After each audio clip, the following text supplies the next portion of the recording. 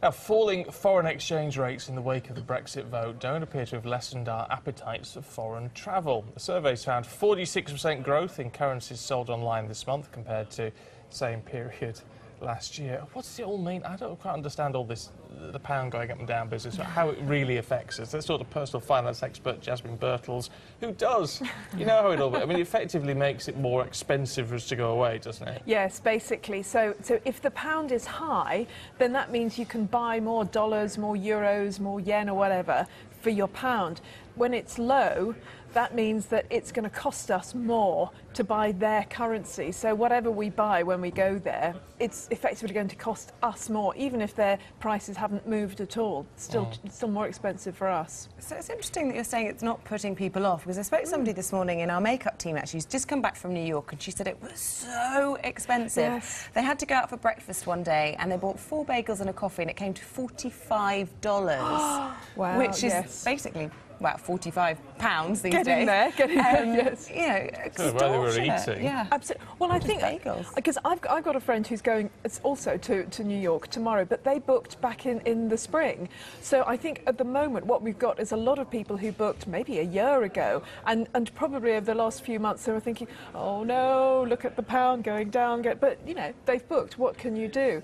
So it'll be interesting to see what happens next year uh, when people are actually starting to book, and I think a lot of them will stay in Britain. But realistically, do we think about it in those terms when we're, we, we want to go away on holiday and we just think, Where's the sun? right, I'm, Yeah. yeah. I'm, I'm gonna I'm gonna go away somewhere, Yeah. and if it costs me a little bit more for a coffee or a beer So be or whatever it. it is, Yeah.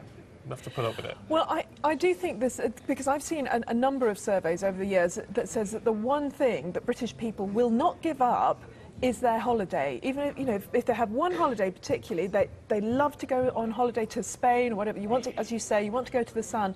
So I think what's going to happen is people will keep doing their holidays. A lot, I think, will stay in Britain. I think it's going to be very good for British tourism, frankly.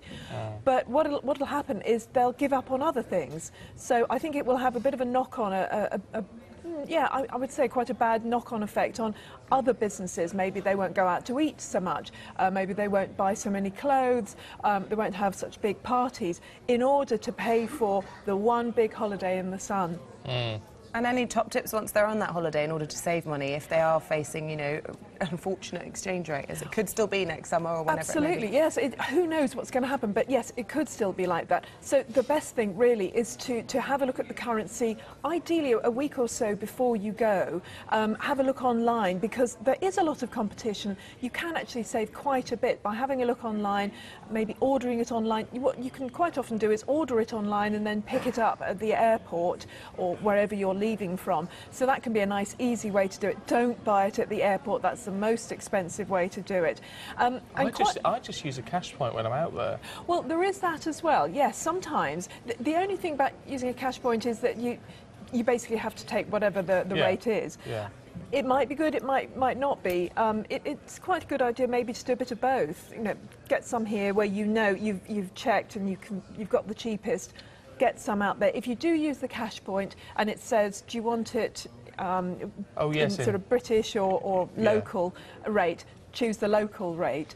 Uh, and another thing to do, if you want a budget, is almost just to take cash or just take one of those prepaid cards. Oh, like a, Yeah. like a clarity card? Is yeah, those one? kind Yeah. of yes, yes. FairFX does it. Caxton, Lloyd's, they, they do um, foreign exchange prepaid cards. It's a bit like a pay-as-you-go mobile. You you load it up with cash before, and you fix the rate when you do that I like Yeah. that and then you use it. And if you say Yeah. to yourself, right, I'm taking 200 pounds, that's it. Yeah, and then then you are going to budget a bit when you're there. Yeah, uh, sensible advice. As always, If only good we had some see you. holidays in the offing. Yeah. Some holidays Yeah. planned. I know, I'm the same. I've yeah. just had four glorious days in Spain.